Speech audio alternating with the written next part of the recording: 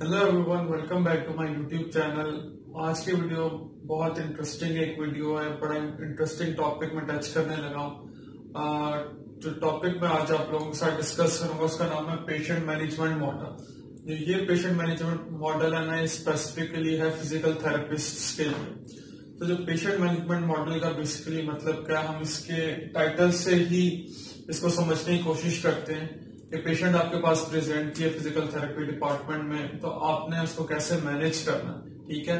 Manage का क्या मतलब होता है? आपने उसके ए टू लेके जी तक सारा उसका ट्रीटमेंट प्लान फॉलो करना है। सबसे पहले उसकी हिस्ट्री लेनी है उसको असेस करना है। उसके बाद सारी चीज़ों को आ, समझ के असेस करके आपने उसका डायग्नोसिस निकालना है। फिर उसको प्लान ऑफ़ केयर निकालना फिर उसके ऊपर इंटरवेंशन अप्लाई करनी है। तो जो पेशेंट मैनेजमेंट मॉडल है ना, वो फाइव पिलर्स पे स्टैंड करता है। फाइव पिलर्स में आपके सामने लिख देता हूँ। सबसे पहले होता है हमने उसकी क्या करनी होती है? एग्जामिनेशन पेशेंट हमारे पास प्रेजेंट हुआ, हमने पहले उससे क्वेश्चन करना है हाँ जी, आप मेरे पास किस मसले से आए तो वो आपको बताएगा, जी, मेरे साथ ये मसला है। फिर आपने उसको सारा एग्जामिन करना। सबसे पहला पॉइंट हमारे पास कौन सा होता है? एग्जामिनेशन का।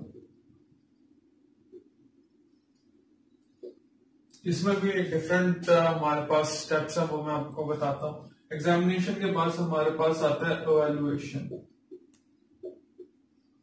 एवेल्युएशन का क्या मतलब है? जो हमारे पास इनिशियल फाइंडिंग्स थी उसकी तो उसको हमने एवेल्युएट करना उसको जमा करके एक कंक्लूजन की तरफ़ जाना तो जब हम कंक्लूजन की तरफ़ जा रहे होते हैं तो हमने उसका क्या क्या बना रहे होते हैं? डायग्नोसिस डायग्नोसिस का क्या मतलब है कि पेशेंट ने जो आपको ऊपर कहानी बताई है और आपने खुद उसको सेस की अपनी थोड़ी अकल इस्तेमाल किया है तो आपने डायग्नोसिस बनाना है कि उसके साथ मसला है क्या। डायग्नोसिस जब आपने बना लिया तो फिर उसको आपने क्या बताना है उसका प्रोग्नोसिस और प्लान ऑफ़ केयर प्रोग्नोसिस का क्या मतलब है कि वो पेशेंट का अक्सर एक क्वेश्चन होता है कि मैं ठीक हो जाऊँगा मुझे कितना टाइम लग जाएगा रिकवर होने में। तो प्रोग्नोसिस का क्या मतलब है कि टाइम ड्यूरेशन कितना चाहिए उस पेशेंट को उस कंडीशन से रिकवर करने के लिए और प्लान ऑफ़ केयर का क्या मतलब है कि उसको आपने कैसे लेके चलना है? उसके साथ क्या आपने उसके मैनेजमेंट जो स्ट्रेटेजी है, उसमें क्या क्या चीज़ें आपने इंक्लूड करनी है?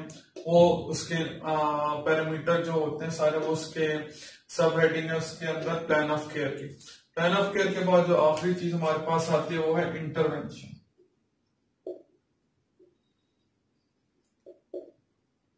इंटरवेंशन का क्या मतलब है कि आपने ऐसी कौन सी फ़िज़िकल थेरेपी टेक्निक्स अप्लाई करनी है? उसके ऊपर जो आपने पूरा उसको असेस कर लिया कि जो उसका प्रॉब्लम है वो ठीक हो जाए। इंटरवेंशन अप्लाई करने के बाद फिर आपने जो आखिरी चीज़ उसकी चेक करनी है ना वो उसके है आउटकम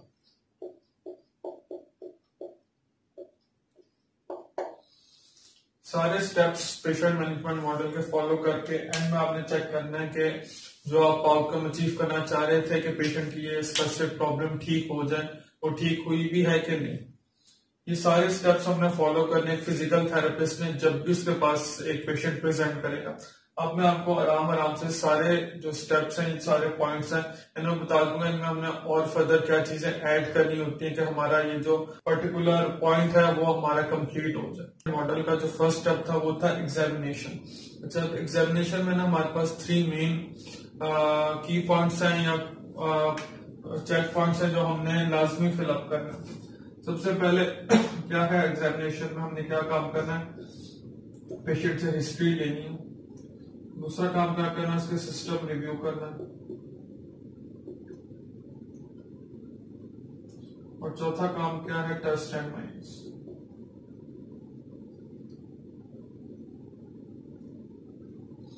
अब हिस्ट्री से क्या मुराद है? हिस्ट्री से यह मुराद है कि पेशेंट आपके पास प्रेजेंट कर रहा है। आपने सबसे पहले पूछना है हाँ जी, आपके साथ क्या मसला वो आपको बताए फॉर एग्ज़ाम्पल पेशेंट कहते हैं, जी, मुझे बैक पेन है। अब बैक पेन उससे क्यों है? आपने सारे क्वेश्चन असेस करने हैं पेन कब स्टार्ट हुई, कैसे स्टार्ट हुई? क्या इसके एग्रीवेटिंग फैक्टर्स हैं? क्या इसके रिलीविंग फैक्टर्स हैं? किस टाइम ड्यूरेशन क्या उसकी सिवेरिटी इरिटेबिलिटी इंटेंसिटी आपने सब question related to history of that specific problem आपने उससे करने सिस्टम रिव्यू है सिस्टम रिव्यू है कि आपको सिस्टम्स का मतलब है जो आपके बॉडी के बाकी सिस्टम है जैसे कार्डियोवास्कुलर सिस्टम है रेस्पिरेटरी सिस्टम है और uh, कौन से जीआईटी है हमारे पास जितने भी सिस्टम्स हैं ना रिलेटेड टू ऑल बॉडी वो आपने रिव्यू करना। सिस्टम रिव्यू का फ़ायदा क्या पेशेंट अगर आपको कह रहा है बैक पेन है तो आप इन इन सिस्टम्स को चेक करने का आपको क्या फ़ायदा हो रहा है? इनका बैक पेन से क्या लिंक हो सकता है? फॉर एग्ज़ाम्पल कोई उसको पेशेंट को था कि रेस्पिरेटरी मसला, वो उसको था अस्थमा ठीक है? पेशेंट ने कहा, जी, मेरी बैक पेन बहुत है, आपने सोचा अच्छा जिसको मोबिलाइज करता है, आपने उसको उल्टा लिटा दे मोबिलाइज किया, आपने पेशेंट की शक्ल देखी, उसको सांस नहीं आ रहा। उसका फेस फ्लश कर रहा, उसे सांस में मसला कौन सा हमारा मस, कौन सा कंपोनेंट मिस हो गया? एग्जामिनेशन में हमने सिस्टम रिव्यू नहीं किया। अब कोई रेस्पिरेटरी कॉम्प्लिकेशन या रेस्पिरेटरी पैथोलॉजी के साथ है हमने उसको उल्टा नहीं लिटाना। है क्योंकि उससे क्या हुआ? सारा उसका जो हमने मोबिलाइजिंग फोर्स लगाया उल्टा लिटाया उसका सारा इफ़ेक्ट पड़ गया उसके रेस्पिरेटरी सिस्टम पे। तो इस तरह हमने सारे सिस्टम उसके चेक करना है। अब पेशेंट कहते हैं जी मुझे लो बैक पेन है। ठीक है आप फिर उसको मोबिलाइज करते हैं। लेकिन आपने जो था उसका यूराइनरी सिस्टम, उसको नहीं एवेल्युएट किया। आपने से ये किडनी से रिलेटेड क्वेश्चंस नहीं पूछे जी। बर्निंग यूरिनेशन है। किडनी में कभी पेनफुल फील होती है वॉमिटिंग या डायरिया की फीलिंग है कि नहीं? क्या पता किडनी की पेन बैक में रेडिएट कर रही हो और आपको बताना चला हो और आपने ये जो इम्पोर्टेंट जो था स्टेप सिस्टम रिव्यू वाला ये मिस कर दिया। तो एज अ फ़िज़िकल थेरेपिस्ट हमारे लिए बहुत ज़रूरी है कि हमने जितने भी पेशेंट के सिस्टम्स हैं बेशक अगर उनका डायरेक्ट लिंक नहीं है उस स्पेसिफिक प्रॉब्लम के साथ, जिसके साथ वो प्रेजेंट हुआ, लेकिन फिर भी हमने उसके सारे सिस्टम रिव्यूज़ करने हैं। क्या पता कि हमारे सिस्टम रिव्यू ना करने की वजह से पेशेंट किसी और कॉम्प्लिकेशन में चला जाए? तो हमने इसलिए सारे सिस्टम का रिव्यू करना उसके बाद टेस्ट एंड मेजर्स का क्या मतलब है कि हमने इनिशियल एग्जामिनेशन के टाइम पे हमें एक पिक्चर बनना शुरू होगी कि पेशेंट के साथ ये मसला हो सकता है। लेकिन हम श्योर नहीं है। अब उस वो श्योरिटी को कंफर्मिटी में हमने चेंज करने के लिए टेस्ट एंड मेजर्स उसके ऊपर अप्लाई करने अगर वो हमारे पास शोल्डर पेन के साथ आता है, वो कहता है, जी, बस मेरे कंधे में दर्द हम उसके पास, उसके ऊपर शोल्डर में क्या अप्लाई कर सकते हैं? हम स्पेशल टेस्ट अप्लाई कर सकते हैं। स्पेशल टेस्ट में फिर हमारे पास वास्ट रेंज ऑफ़ ऑप्शन होती हैं।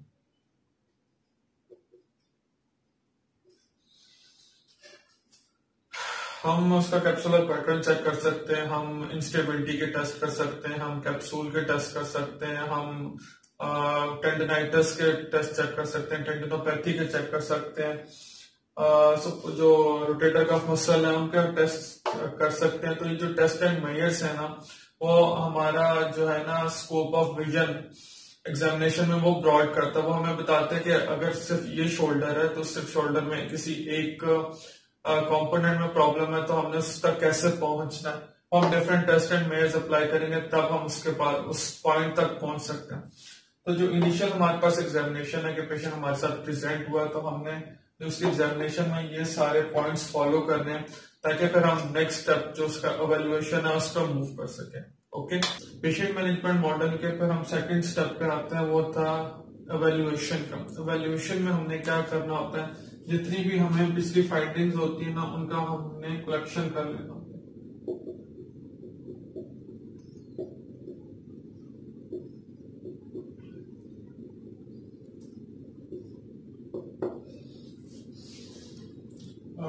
वैल्यूएशन से जो पहला स्टेप था एग्जामिनेशन उसमें हमें जितनी भी फाइंडिंग्स मिली ना पेशेंट की प्रॉब्लम से रिलेटेड उसकी कंडीशन की सेवेरिटी से रिलेटेड जितनी भी हमने इनिशियल उसका डायग्नोसिस बनाया, या हमें पता चला कि पेशेंट का प्रॉब्लम क्या है, वो हम अवेल्युएशन के स्टेप में सारी जो फाइंडिंग्स है ना, उसको रिकॉर्ड करते हैं इसको नोट डाउन करते हैं और अवेल्युएशन के प्रोसेस के ऊपर फिर बेस करता है कि हमने उसका डायग्नोसिस किस तरफ़ जा रहा है, उसका प्रोग्नोसिस किस तरफ़ जा रहा है और हम फिर इंटरवेंशन क्या अप्लाई करेंगे, ठीक है?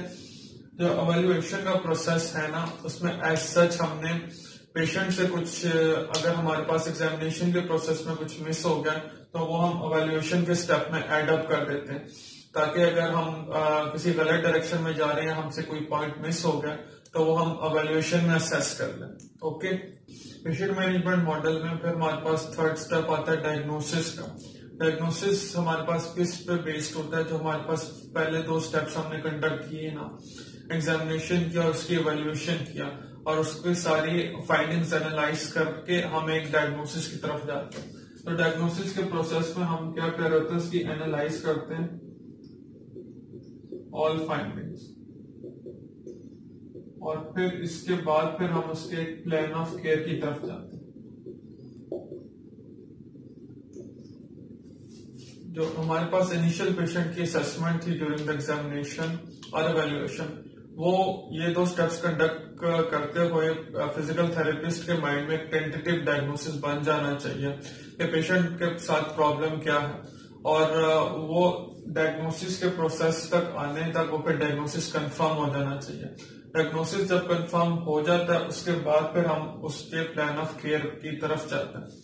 अच्छा जो, ये डायग्नोसिस है ना पेशेंट मैनेजमेंट मॉडल में। एक फिजिशियन के डायग्नोसिस से थोड़ा सा डिफरेंट है। जो फ़िज़िकल थेरेपिस्ट का डायग्नोसिस है ना वो बेस्ड होता है हमारे पास इम्पेयरमेंट्स पे। तो diagnosis is based on impairments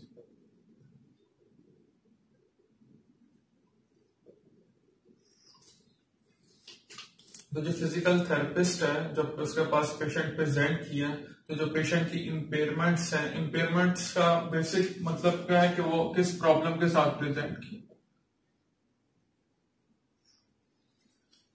वो हम उसकी बेस पे हम उसका डायग्नोसिस बनाते हैं। जो फिजिशियंस है, वो डिज़ीज़ बेस्ड डायग्नोसिस बनाते हैं। अब इसमें आपने डिफ्रेंशिएट कैसे करना? अब लेट्स से कि एक पेशेंट आपके पास प्रेजेंट करता है कहता है, जी, मेरी राइट नी में बहुत ज़्यादा पेन है। फिजिशियन ने ऐसा अवेलुएट किया। फिजिशियन ने उसका डायग्नोसिस निकाला कैसे जी राइट नी का ऑस्टियोआर्थराइटिस लेकिन वो आपके साथ प्रेजेंट हुआ किससे? पेन के साथ। और उसकी ऑल्टर डेट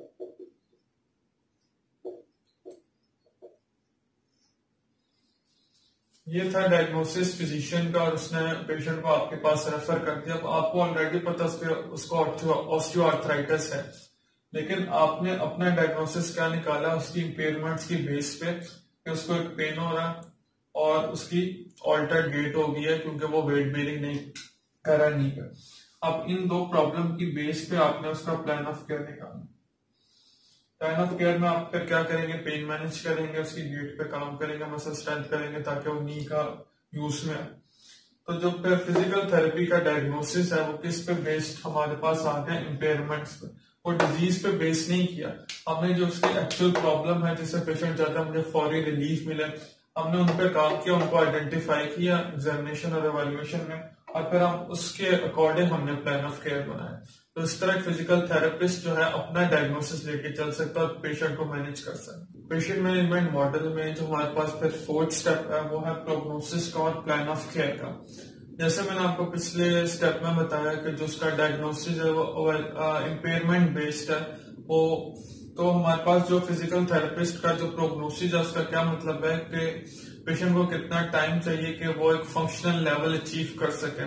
जो काम वो इम्पेयरमेंट्स की वजह से नहीं कर पा रहा था तो उसको कितना टाइम चाहिए कि वो वो अपने काम, जो फंक्शनल टास्क थे एक्टिविटी ऑफ़ डेली लिविंग थे, वो अचीव कर सके। तो प्रोग्नोसिस फ़िज़िकल थेरेपी का किस चीज़ पर बेस्ड होता? है पेशेंट को कितना टाइम चाहिए फंक्शनल टास्क अचीव करने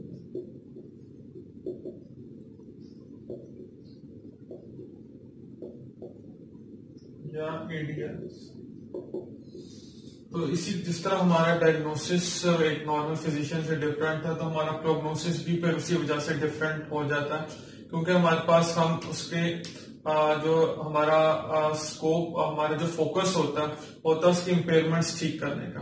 अब इम्पेयरमेंट्स की वजह से वो काम, जो काम नहीं कर पा रहा होता, वो कौन सा होता है, उसके फंक्शनल टास्क होते हैं एक्टिविटी ऑफ़ डेली लिविंग होता है। पेशेंट को कितना टाइम ड्यूरेशन चाहिए इन चीज़ों को अचीव करने के लिए, उसको हम कैटेगराइज करते हैं जी, ये इसका प्रोग्नोसिस है। प्लान ऑफ़ केयर का क्या मतलब है कि हमने अब उसके साथ, हमें सारा पता चल गया, उसके ये मसले हैं इसकी इम्पेयरमेंट हमने इतना टाइम चाहिए इसको अचीव करने का। फिर हमने पेशेंट को कैसे लेके चलना तो इसमें हम क्या करते हैं पेशेंट की जो जर्नल हमने मैनेजमेंट है ना जनरल मैनेजमेंट के स्टेप को ना अपने स्टेप्स को अपने माइंड में लेके आना होता। है प्लान ऑफ़ केयर में हम सबसे पहले पेशेंट की इम्पेयरमेंट्स लिख देते हैं, एक चार्ट पे।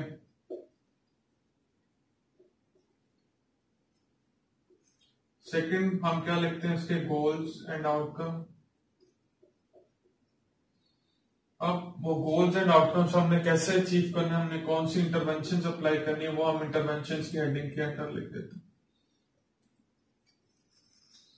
तो प्लान ऑफ़ केयर में एक हमारे पास एक चार्ट बन जाता है जो फ़िज़िकल थेरेपिस्ट के सामने आएगा। किसी अगर जो एक, एक फ़िज़िकल थेरेपिस्ट पेशेंट को नहीं अटेंड किया पहले या पहली दफ़ा देखा वो पेशेंट का प्लान ऑफ़ केयर का चार्ट देख लेता। सबसे पहले उसको पता चल जाते हैं इम्पेयरमेंट्स पेशेंट के साथ प्रॉब्लम क्या है मैंने किस चीज़ को एड्रेस करना। उसके पास पेशेंट के गोल्स एंड आउटकम्स क्या है। गोल्स एंड आउटकम्स में हमारे पास क्या आ जाता है? कि पेशेंट का पेन लेवल कम करना है उसके फ़ंक्शन स्टेटस अचीव करना है पेशेंट को एजुकेट करना है उसकी कंडीशन के बारे में, वो कैसे करना है कैसे, कौन से इंटरवेंशन अप्लाई करनी है, वो भी हमारे पास उसी चार्ट पे लिखा हुआ है। तो प्लान ऑफ़ केयर में हमारे पास ये सारे कंपोनेंट्स आते हैं, जिससे हम पेशेंट को इजीली उसका ट्रीटमेंट जो है, उसको फर्दर आगे लेके चल सकते हैं। पेशेंट मैनेजमेंट मॉडल का हमारे पास फिर फाइनल और लास्ट स्टेप कौन सा होता है इंटरवेंशन का। इंटरवेंशन में भी हमारे पास डिफरेंट स्टेप्स होते हैं। सबसे पहले है कोऑर्डिनेशन का।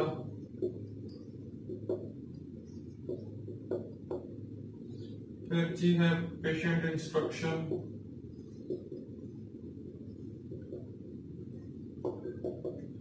और फिर हमारे पास लास्ट स्टेप होता है प्रोसीजरल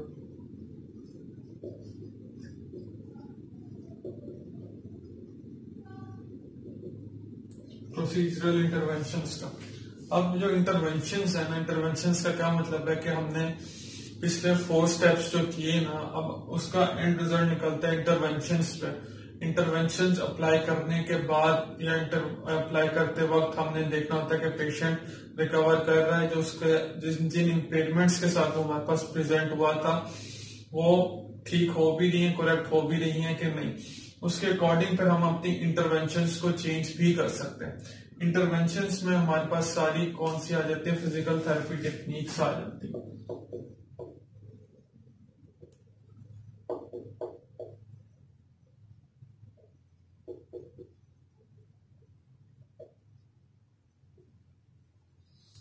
अब क्योंकि हम फ़िज़िकल थेरेपिस्ट हमारे पास पेशेंट आया, हमने उसकी एग्जामिनेशन की एवेल्युएशन की डायग्नोसिस निकाला, उसका प्लान ऑफ़ केयर बनाया।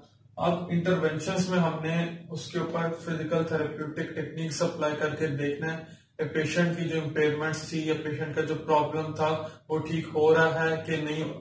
उसमें हमने कोऑर्डिनेशन का क्या मतलब है जी? पेशेंट के साथ भी कोऑर्डिनेट करना है। अपने बाकी पीस के साथ भी कोऑर्डिनेट करना है कि जो इंटरवेंशन हम अप्लाई कर रहे हैं, वो ठीक भी है कि नहीं?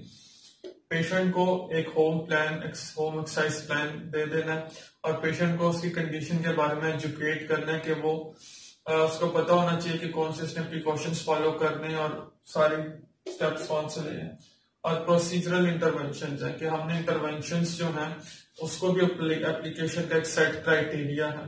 तो वो हमने कैसे अप्लाई करनी है, वो हम इसमें इसमें, इस स्टेप में फॉलो करते हैं। तो इंटरवेंशन अप्लाई करने के बाद फिर हम पेशेंट का आउटकम देखते हैं कि आप पेशेंट की जो इम्पेयरमेंट्स थी या जिन प्रॉब्लम के साथ वो हमारे पास प्रेजेंट कर, आपको शॉर्ट समरी दे देता हूँ फाइव स्टेप्स थे। पेशेंट मैनेजमेंट मॉडल है for physical therapist examination evaluation diagnosis prognosis और प्लान ऑफ़ केयर और इंटरवेंशन अच्छा जो फ़र्स्ट टू स्टेप्स है ना एग्जामिनेशन और अवेल्युएशन के, इस इनको कंडक्ट करने के बाद ये भी हो सकता है कि पेशेंट जो है फ़िज़िकल थेरेपिस्ट के डोमेन में फॉल ना करता हो तो हम उसको क्या कर देते हैं? हम उसको रेफर कर देते हैं किसी फिजिशियन के पास। हमने एग्जामिनेशन के प्रोसेस में अगर सिस्टम्स को अवेलुएट किया और हमने देखा कि उसकी सिस्टमिक प्रॉब्लम उसका मेन इशू है तो हम उसका किसी फिजिशियन या किसी कंसल्टेंट के पास रेफर भी कर सकते हैं। और एंड पे हमने जो बाकी स्टेप्स हम इनिशियल एग्जामिनेशन के बाद हम इन सारे स्टेप्स पे उसकी री एग्जामिनेशन कर सकते हैं। एग्जामिनेशन एक बार करने के बाद हम रुक नहीं जाना। अगर हमें हमने आ, कोई स्टेप मिस हो गया या हम उसको चेक करना चाहते हैं कि पेशेंट की इम्पेयरमेंट्स ठीक हो भी रही है कि नहीं वो बेटरमेंट की तरफ़ जा भी रहा है कि नहीं तो हम क्या करते हैं उसकी री एग्जामिनेशन करते हैं। इन सारे स्टेप्स पे हम कर सकते हैं। तो अगर फ़िज़िकल थेरेपिस्ट इन फाइव स्टेप्स को फॉलो करे तो वो बहुत एक आसानी से एक पेशेंट को मैनेज कर सकता है, उसके आउटकम असेस कर सकता है, उसकी इम्पेयरमेंट्स को एड कर सकता है और एक अच्छा फ़िज़िकल थेरेपिस्ट भी बन सकता है। तो आई होप कि आज की वीडियो आपको समझ आई, आपको अच्छी लगी। अगर तो अच्छी लगी तो काइंडली थम्स अप दें और सब्सक्राइब करें to my YouTube channel medical knowledge thank you for watching